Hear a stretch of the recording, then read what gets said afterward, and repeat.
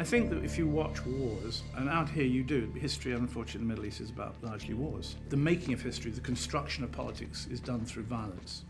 And I think that you're watching history happen and you're telling people about it.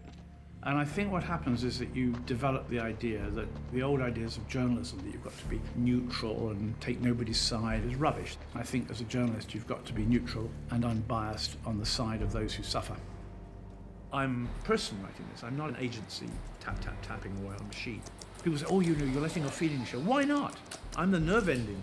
I'm not a machine. What, what I try to do when I'm writing, I try to talk to the reader like someone they know. I'm trying to write as if I'm writing to a friend.